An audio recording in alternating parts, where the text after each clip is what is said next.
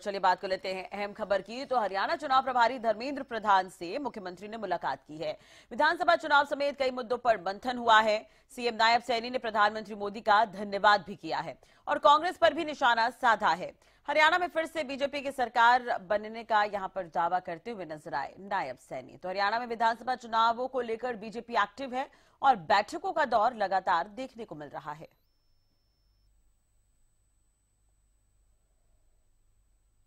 और हमने कहा है कि जो अग्निवीर हैं, आदरणीय प्रधानमंत्री जी का एक बड़ा विजन है, परिकल्पना है।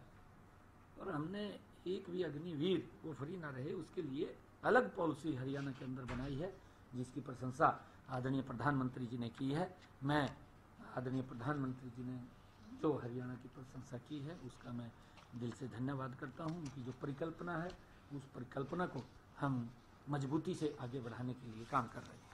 कि भारतीय जनता पार्टी उनके सम्मान के अंदर लगी हुई है।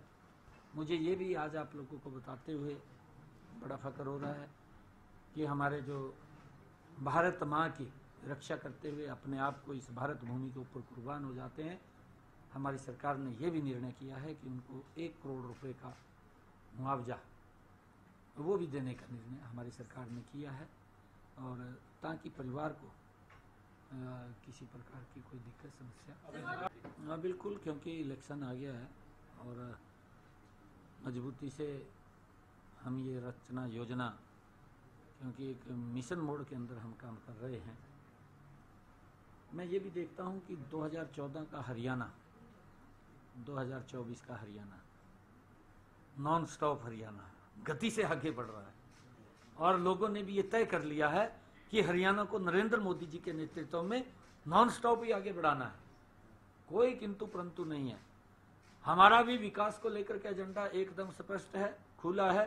लोगों का भी एजेंडा एकदम क्लियर है कि हम तीसरी बार मोदी जी के नेतृत्व में हरियाणा में बड़े मैंडेट के साथ सरकार बनाए सब सब योजना वो हमने बनाई है और उसके अंदर क्योंकि अगर किसी ने अपना टेस्ट कराने हैं वो टेस्ट प्राइवेट में भी जा के करा सकता है और डॉक्टर लिखेगा। डॉक्टर लिखेगा तो वो टेस्ट होगा और उसका भुगतान सरकार करेगी। कांग्रेस के पास जब मुद्दा नहीं होता, इस प्रकार की वो यात्राएँ हरियाणा मांगे हिसाब वो लेकर के निकले हैं, परंतु हरियाणा के लोग, उनका दस वर्ष का कार्यकाल रहा।